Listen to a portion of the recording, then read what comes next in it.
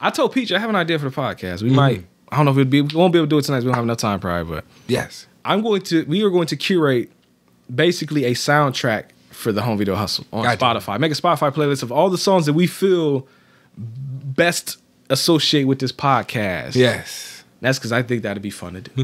I agree. what would be the top song? I have an answer if you don't.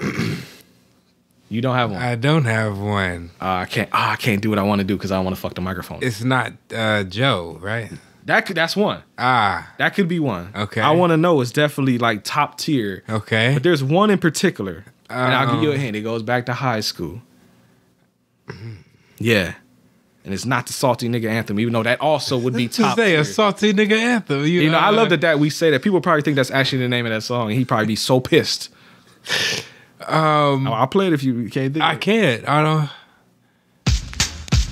Wow. How did you not think of that one, How bro? did I not think How many times that? we haven't done it in a while, but we used to sing that shit all the time. Check it out. MCMI, people call me Milk. When I'm busting, Busting up, on the- I feel Yeah. no kill.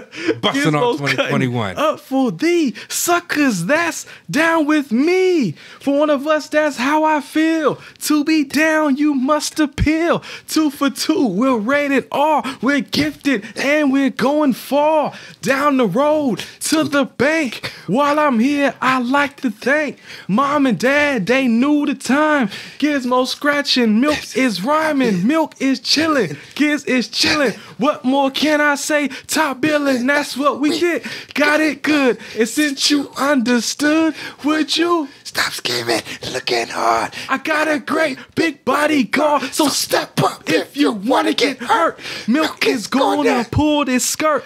I get money, money I got. Stunts call me honey when they feel real hot. That's how it is. You can ask Giz. I stole your girl while you were in prison, jail for MC assault. You was jealous, it's all your fault. Come on, come on. To the audio. And his name is Gizmo. Yeah, that's you know that's I, that was yes, yes, yes. That's